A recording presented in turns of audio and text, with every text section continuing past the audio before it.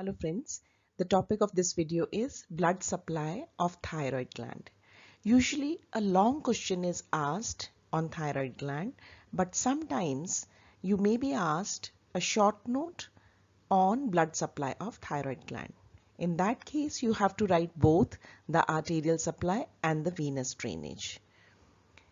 Then you can also be asked clinical anatomy questions such as during thyroidectomy why superior thyroid artery is ligated close to the gland whereas inferior thyroid artery is ligated away from the gland. This video will also include the lymphatic drainage of thyroid gland. Now let us just briefly revise the parts of thyroid gland. Here we can see this is the thyroid gland. It has got two lateral lobes and an isthmus which connects these lobes, the right lobe with the left lobe. I have described in detail the gross features of thyroid gland, the relations of thyroid gland and the related uh, applied anatomy in another video. I'll put the link of that video in the description box.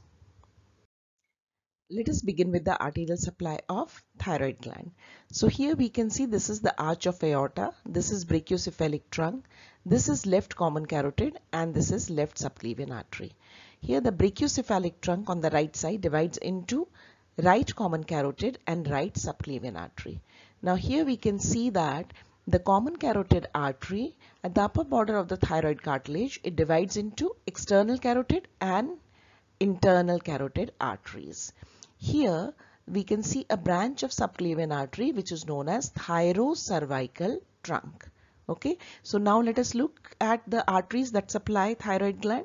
So first is the superior thyroid artery. This is a branch of uh, external carotid artery. In fact, the first branch, first anterior branch of external carotid artery. So it supplies upper two-third of the lobe and upper half of the isthmus. So upper two-third of the lobe and upper half of the isthmus will be supplied by superior thyroid artery which is a branch of external carotid artery. The second artery that supplies thyroid gland is inferior thyroid artery. This is a branch of thyrocervical trunk. So we can see here thyrocervical trunk which in fact is a branch of first part of subclavian artery. The two other branches of thyrocervical cervical trunk, they are the transverse cervical and suprascapular artery. So thyrocervical, thyrocervical. So it gives one inferior thyroid artery and two arteries which will go to the posterior triangle of the neck that is transverse cervical and suprascapular artery. So this is the uh, inferior thyroid artery. It supplies lower one third of the lobe and lower half of the isthmus that is supplied by inferior thyroid artery. Sometimes we do have another artery which is known as thyroidea ima artery and this is a branch either of the brachiocephalic trunk or a direct branch from the arch of aorta. This is not always present. So there are two main arteries that supply thyroid gland, superior thyroid artery and inferior thyroid artery. Let us see the course and the branches of superior thyroid artery. So here, as I've already told you, we can see the origin of superior thyroid artery. This is the first anterior branch from external carotid artery. It descends down and it will give many branches to the surrounding structures. One of them can be seen piercing the thyrohyoid membrane. This is superior laryngeal artery which will supply larynx. And then it further descends down and reaches the apex or the upper pole of the thyroid gland. So after reaching the upper pole, it divides into an anterior branch and a posterior branch which is light in color that you can see. So at the apex of lateral lobe, the superior thyroid artery divides into anterior and posterior branches. Now let us see the anterior branch. This is the anterior branch. This is going to run along the anterior border of the lobe of thyroid gland and then run along the superior border of the isthmus where it is going to anastomose with the same, same artery of the opposite side. So anterior branch anastomoses with its fellow of opposite side along the superior border of isthmus. The posterior branch which is light in color which we can see here that runs along the posterior border and will anastomose with the ascending branch of inferior thyroid artery. This is inferior thyroid artery and we can see here it is going it gives a branch which is known as ascending branch that is going to anastomose with the posterior branch of superior thyroid artery. Now, one relation is very important to this artery that is the external laryngeal nerve. So we can see here this is the vagus nerve and it has a branch known as superior laryngeal nerve which will divide into internal and external laryngeal nerve. External laryngeal nerve we can see here is very close to the artery in its proximal part but when it reaches the apex when the artery reaches the apex of the thyroid gland the nerve that deviates and is slightly away from the artery. So this relation is very important. That is the proximal part of the superior thyroid artery, it is very close to external laryngeal nerve. Inferior thyroid artery, let's look at its course here. So this is the inferior thyroid artery which is a branch of thyrocervical trunk which in turn is a branch of subclavian artery. So it passes first upwards. You can see it is for passing upwards, then medially behind the carotid sheath and after that it is going to descend down. So it will form a loop here, right? And the convexity is upward. So first is ascends, then passes medially and then descends and divides into four to five branches to supply the lower part of the lobe of the thyroid gland and the isthmus. It also gives an ascending branch which we can see here and this is going to anastomose with the posterior branch of superior thyroid artery which we have already seen. Now this nerve is also in very close relation with a nerve branch of vagus. So this is the vagus nerve of the left side we can see here and it is giving a branch here which is going back. This branch is the recurrent laryngeal nerve. So we can see here this recurrent laryngeal nerve, this comes in very close relation to the inferior thyroid artery near the base of the gland. But the artery in its proximal part is away from recurrent laryngeal nerve. So this relation also has to be kept in mind that the near the base that is lower pole the artery that is inferior thyroid artery is very close to recurrent laryngeal nerve. Let us consider the venous drainage of thyroid gland. But before that, let us identify the main veins here. So here we can see this is the left internal jugular vein. This will be left subclavian vein. They will join together to form the left brachiocephalic vein.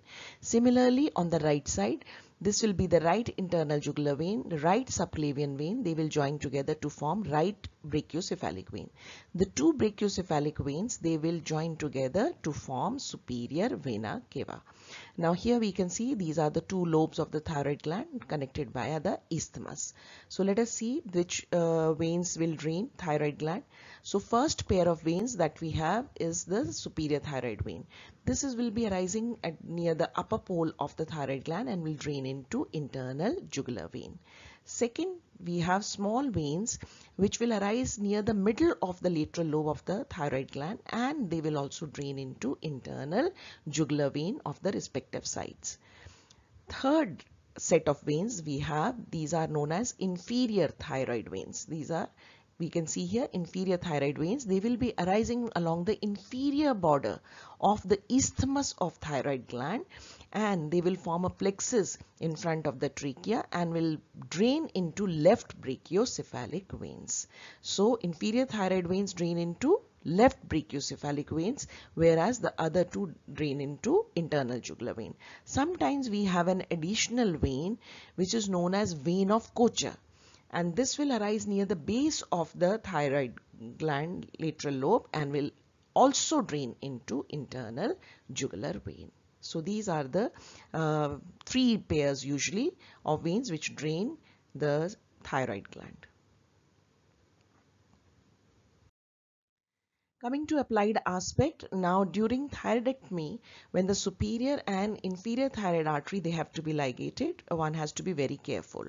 So during thyroidectomy, superior thyroid artery is ligated close to the thyroid gland. Why is it so? What is the anatomical basis for this? So here we can see this is the superior thyroid artery and this is external laryngeal nerve. As I said earlier, look at this, the proximal part of the artery where it is taking origin, that is very close to external laryngeal nerve when it reaches the upper pole, right, there the uh, nerve is deviated that goes away from the artery. So that is the reason where, why the artery will be ligated close to the upper pole, right? Because the nerve is further away from the artery. So superior thyroid artery lies close to external laryngeal nerve in its proximal part and they diverge near the apex of the lateral lobe. Therefore, to avoid injury to external laryngeal nerve, superior thyroid artery should be ligated close to the upper pole or apex of thyroid gland. In case of inferior thyroid artery, it is ligated away from the thyroid gland. So it should be ligated away from that. Why is it so? We can see here, this is the inferior thyroid artery and this is the recurrent laryngeal nerve. So close to the base of the uh, lateral lobe of thyroid gland, they are very close to each other. Whereas the proximal part of the artery is away from the nerve. So Inferior thyroid artery is very close to the recurrent laryngeal nerve near the base of the thyroid gland and therefore to avoid injury to recurrent laryngeal nerve it should be ligated away from the base of thyroid gland. Lymphatic drainage of thyroid gland it is simple so from the upper part of the thyroid gland the lymph will drain either directly into the upper deep cervical group of lymph nodes. The deep cervical group of lymph nodes, they lie along internal jugular vein. So either directly they will go or they will first drain into prelaryngeal nodes and then into the upper deep cervical group of lymph nodes the lymphatic drainage from the lower part of the thyroid gland that will either go directly into the lower deep cervical group of lymph nodes or it will first drain into pretracheal and para sorry, paratracheal group of lymph nodes and from there then it will go to the lower deep cervical group of lymph nodes. So ultimately it will all drain into the deep cervical group of lymph nodes. So that's all for this video. Thanks for watching and if you have not subscribed, please subscribe uh, my channel so that I can put more such videos and if you want uh, the questions and answers in anatomy, all types of that, then visit the website that is anatomyqa.com. Thanks once again.